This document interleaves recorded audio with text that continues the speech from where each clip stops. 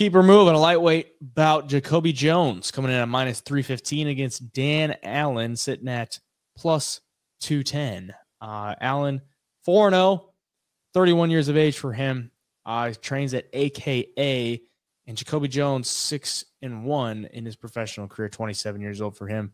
You see the height uh, advantage for Dan Allen.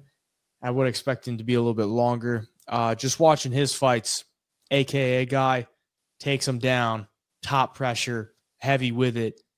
It's a pretty uh, sizable dog coming in here against Joby, Jacobi Jones, um, who is not undefeated, but has fought the better competition, no doubt about it. All of his fights have been in LFA, uh, and he's gotten four finishes on his record.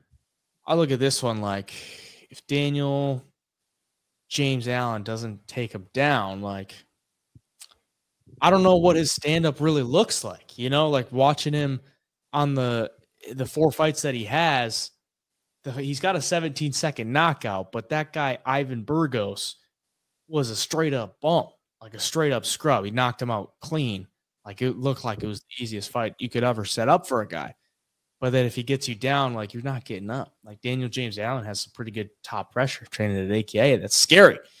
So I don't know. I feel like there's some probably some value on the dog here. What do you think? Yeah, there could be value on the dog here, and it's not gonna. If he wins, it's not gonna be a fun fight to watch at all. Yeah, he goes straight across the cage, doesn't even look to strike at all, and just relentlessly tries to get these takedowns. And from the competition he's fought, like he lands a lot of them. I mean, he's got that style on the feet um, that you can just see him loading up to shoot a double leg or, or a single leg and try to get the fight to the ground. He's patient and he waits for guys to strike and once they throw or overextend, he's in on them. Once he gets the hand clasps, he takes you down. And honestly, for Jacobi Jones, I've seen him get taken down on film a couple times. And, uh, you know, he's fought decent competition too. But when he gets taken down, he does do a decent job of working back up to his feet. He's not really getting finished or um, anything like that. But the one thing I do like about him is his last fight for the LFA championship against a guy named uh, Lebo Snoy, Snoyani. If you watch that round one, man, it was an all out war. Both guys were thrown with everything they had. There was some work on the ground. Jacobi ended up getting on the ground and uh, was landing some great ground and pound. Both guys busted up. And he went on to the second round and ended up finishing the fight. So I like the toughness. I like that this dude's been in wars. He's not fighting bums where he's just running through guys. Like this guy's faced adversity. He's been cracked before. He bounces back. I like that aspect of the experience. Whereas Dan Allen, I mean, you're banking on a on a takedown for him if you're betting on him because if he doesn't get it, Jacobi Jones is going to piece him up on the feet.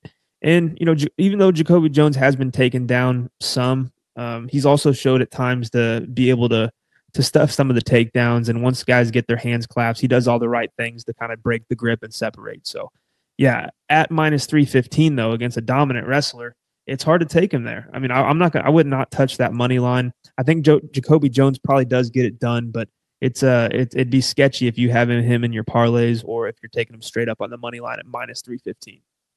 Yeah, the uh, silver lining for it, if you like the Jacobi Jones side, does have a wrestling background. Wrestled in college, Colorado State University, Pueblo. Trains at a good gym as well, Factory X Muay Thai in uh, Denver, Colorado.